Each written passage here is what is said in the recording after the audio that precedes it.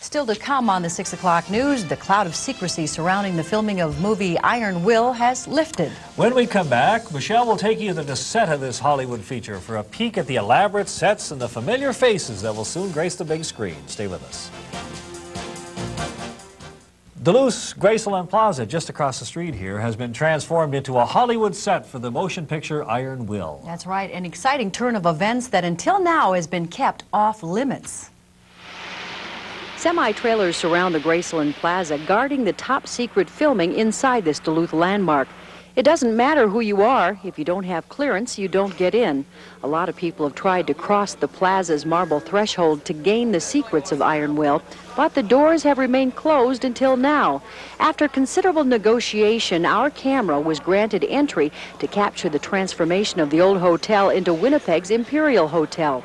While there, we also caught the excitement of the Mushers Banquet, a pivotal scene in the movie Iron Will. You're Will Stoneman. Is it a boy? Well, I, I paid my entrance fee and my, uh, I sent my entrance form and my $50. I want to run the race. The race is the Carnival Derby, a dog sled adventure between Winnipeg and St. Paul, the year 1917. Will Stoneman, the young man who rises to the challenge. Stoneman is played by Mackenzie Astin, the son of Patty Duke.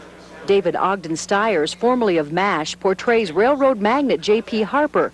They and over 200 extras are being directed by Charlie Haid, another TV veteran. Despite the many pressures of creating a motion picture, this former Hill Street Blues star maintains his sense of humor.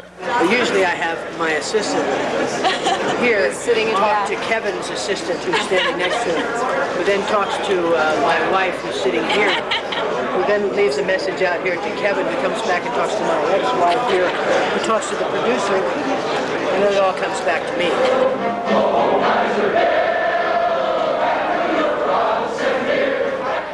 For two days, the smoke-filled plaza has been ringing with the sounds of song and calls to action on the set. In between, makeup is touched up, props are adjusted, and extras learn how to hurry up and wait. All the while hoping that this movie will open the door to future Hollywood roles.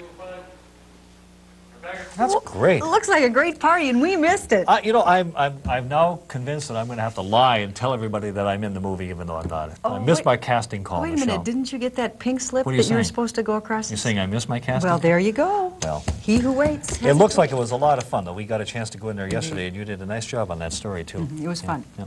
Well, the food, by the way, used in the Mushers banquet scene for the filming of Iron Will was prepared locally. Executive Chef Bob Bennett of Bennett's Bar and Grill in Duluth worked closely with the movie people. They worked to create a menu that would reflect turn-of-the-century fare.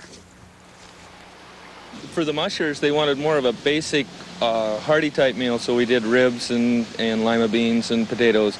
And then for the, the executives or the high rollers, you know, we had a, a game feed of squab and pheasant and turned vegetables. Mmm, sounds good. Well, Bennett's culinary skills will also be used in several other scenes in the movie Iron Will. He and his wife Kathy both say they're enjoying their brush with Hollywood. They do nice work. For many of now, us, tonight at 10 o'clock, we are going to take you inside the Greysolon Plaza in downtown Duluth, where movie crews are shooting the film Iron Will. Many local people were used as extras in the ballroom scene, and they got a chance to see what it's like to be on a real Hollywood film set. Some people, you know, because they didn't get out some people sat there for the whole time and they didn't even get out on the set. They treat everybody like you're important to the film. And, and they really try hard to do that, even though you're pretty much irrelevant. We'll get a lot more on the locals' reaction on being behind the scenes in a feature film. We'll have a lot more on that filming tonight at 10 o'clock. Our very first behind the scenes look at the filming of Iron Will when we come back.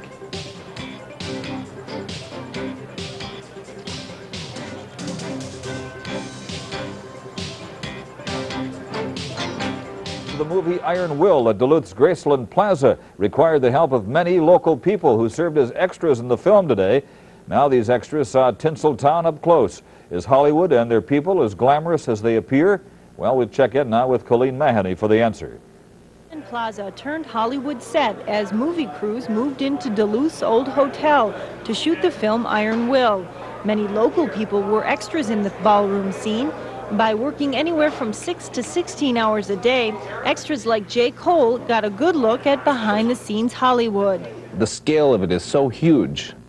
You know, there, there's so many people there doing different things, and but everything it works. You know, it works really, you know, smoothly. Cole, like the others, was dressed and made up to become part of the turn of the century scene. But some of the extras didn't make it into the film, which caused some frustration. But Cole said the crew still made them feel needed. They treat everybody like you're important to the film. And, and they really try hard to do that, even though you're pretty much irrelevant, because some people sat there for the whole time and they didn't even get out on the set. Despite the long days, even director Charlie Haid took a break and had some fun. You know, it's pretty sad when all they give you to film a movie of this, this size is a Handycam. It really is bad. Trying to get, probably 300 people in this room, all they gave me was a Handycam. So, uh, it says a lot for the economic times right now. As for the extras, who may or may not make it into the film's final ballroom scene, they can still say they played a role in getting to know Hollywood and its people. In Duluth, Colleen Mahoney, Eyewitness News. And from movie making to eyewitness sports, a Minnesota man wins.